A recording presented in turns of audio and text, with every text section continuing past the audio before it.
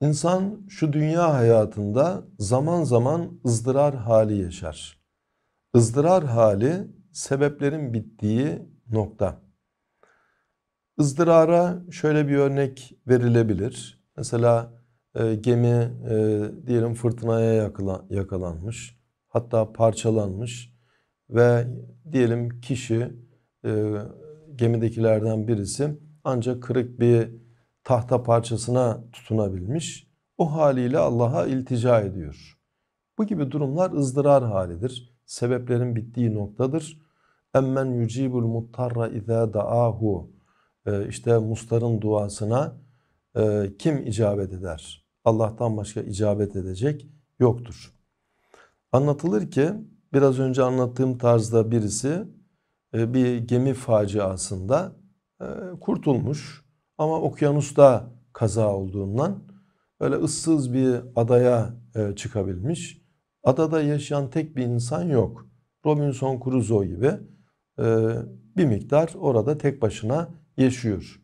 Ve gemiden karaya vuran tahta parçalarıyla kendine bir kulübe yapıyor. Avlanarak veya bitkilerden bir şeyler elde ederek o şekilde hayatını devam ettiriyor. Allah'a da inanan birisi.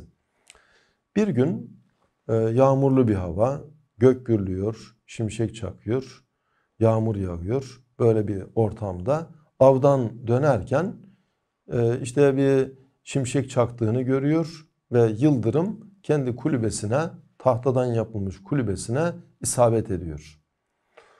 Ve e, alev alıyor, yanmaya başlıyor. Uzaktan bunu görüyor, bayağı bir telaşlanıyor ve Allah'a adeta naz makamında Ya Rabbi diyor ben orada yaşıyordum, benim evimi yaktın, başka bir şey bulamadın mı?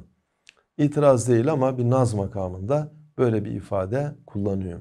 Ve e, çaresiz bir vaziyette seyretmekten başka yapacağı bir şey yok. Ancak bir de görüyor ki bir miktar sonra oraya bir gemi yanaşıyor. Ve böyle el sallayarak kendi varlığını hissettiriyor. Gemidekiler geliyorlar ve onu kurtarıyorlar. Geminin kaptanı diyor ki aslında diyor burası güzergahımız değil. Ama uzaktan bir dumanın çıktığını görünce merak ettik ve o şekilde geldik. İşte Allahu Teala onu vesile yapmış o yıldırımı ve o şekilde onun kurtuluşu bununla gerçekleşiyor. Ama bayağı celalli bir tecelliyle gerçekleşiyor. Ayette şöyle geçmekte ve izâ messel insâne durru insana bir zarar dokunduğunda de'ana bize dua eder. Licembihi yan yatarken ev gaiden oturduğu yerde ev gaimen veya ayakta bize dua eder. Felemme keşefna anhu durrahu fakat biz ondan sıkıntısını giderdiğimizde merra keellem yed'una ila durrin messe sanki kendisine dokunan sıkıntı için bize dua etmemiş gibi geçer gider. Bu insanın zaaflarından bir tanesi. Yani diyelim yine e, gemi faciası, denizde facia örneğinden devam edecek olursak öyle bir durumda e, gemi adeta böyle bir fındık kabuğu gibi denizde gel gitler yaşıyor. Battılar, batacaklar. İnsanlar o anda çok samimi bir şekilde aman ya Rabbi bizi kurtar derler. Ve e, eğer bizi buradan kurtarırsan istediğin gibi kul olacağız. Baya bir söz verirler. Allah onları kurtardığında ayette bu anlatılıyor. Karaya çıktıklarında insanların çoğu eski günah hayatına yine devam eder. Ve Kur'an-ı Kerim bir ayetinde hatta iki ayet Yunus suresi 22 ve 23'te bunu bize şöyle anlatıyor. Huvellezî yuseyyirukum fil berri vel bahr. Sizi karada, denizde seyri sefer ettiren odur. Allah'tır. Hatta izâ kuntum fil fulk. Hatta siz öyle gemilerde, gemide olduğunuzda ve cerayne bihim bir rihan tayyibe ve hoş bir rüzgar o gemiyi yürütüyor. Ve ferihu biha insanlar da o hoş rüzgarla ferahlanmış, keyiflenmiş vaziyette Caetha rihun asıf derken bir kasırga rüzgarı e, ona isabet ediyor. Ve caehumul mevc min kulli mekan her mekandan her taraftan dalga onlara geliyor. Ve zannu ennehum uhita bihim ve her taraftan kuşatıldıklarını artık anlıyorlar. Zannı galiple bunu fark ediyorlar.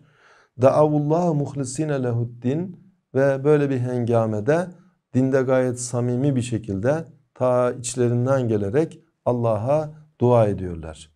Leynen ceytena min hâzihi lenekunenne mineşşâkirin ve diyorlar ki ya Rabbi bu durumdan bizi kurtarırsan elbette şükredenlerden olacağız. Felemme encahum vakta ki Allah onlara necat verdi, kurtardı, karaya çıkardı.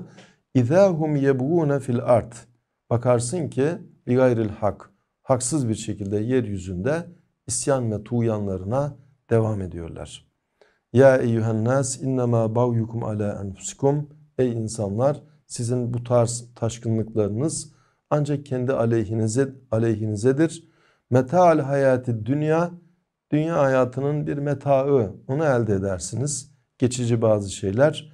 Sümme ileyna merciukum sonra dönüşünüz bizedir. Fenunebbiukum bima kuntum tamelun. Biz sizler neler yapmışsanız bunları tek tek size haber veririz. Benzeri bir durum uçak kazası yani diyelim uçakta insanlar e, giderlerken tribülans durumları olabiliyor.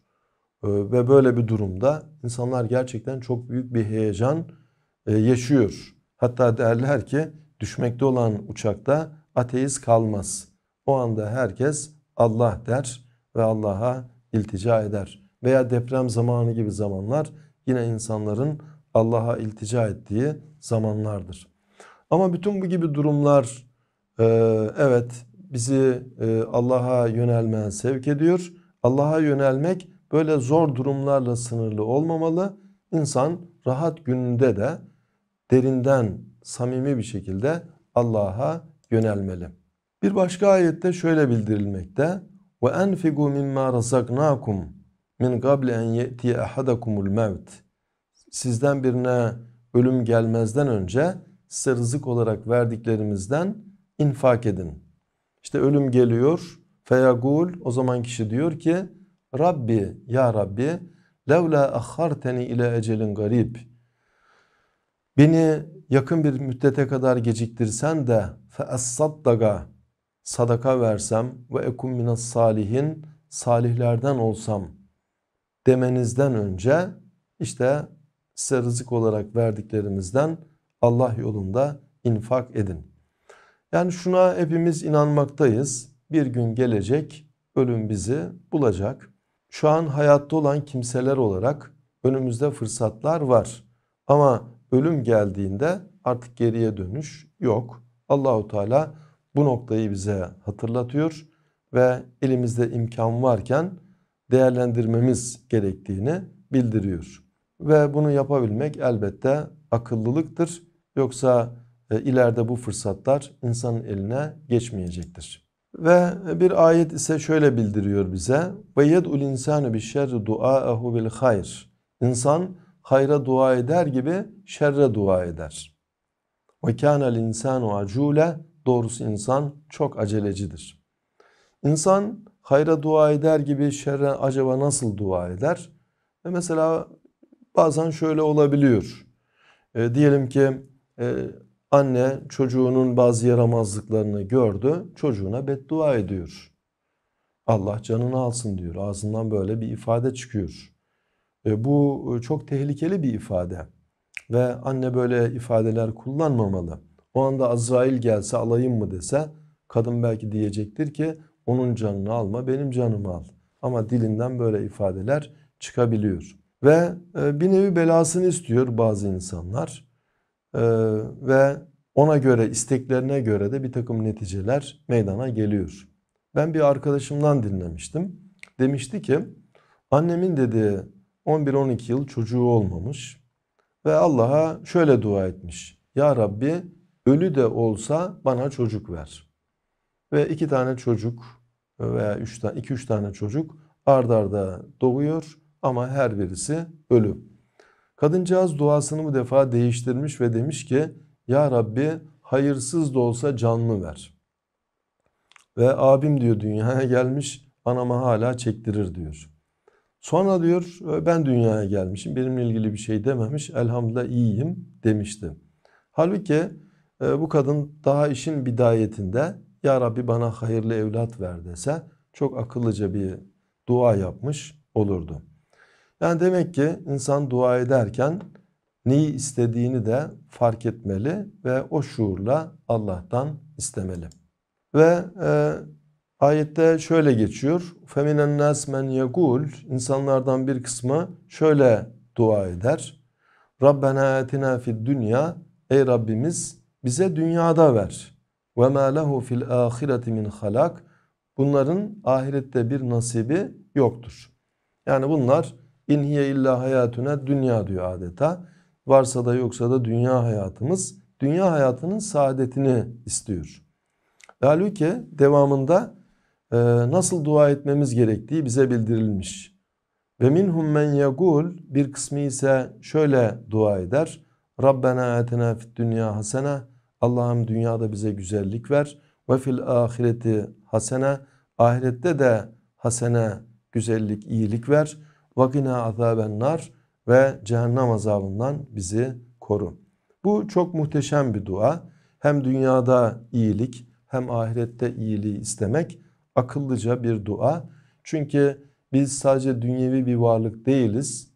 Dünya günlerimiz eyyamen madudat sayılı günlerdir. Ama devamında bitmeyecek ebedi ahiret alemi var.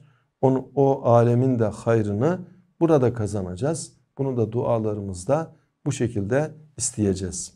Zaten bunu namaz kılan kişiler e, her namazda tahiyyata oturduklarında istiyorlar. Tahiyyatta okuduğumuz dualardan birisi budur. Rabbena atina fid dünya hasene ve fil ahirete hasene ve qina azabennar. Ya Rabbena bize dünyada bir iyilik, ahirette de bir iyilik ver. Bizi cehennem azabından koru.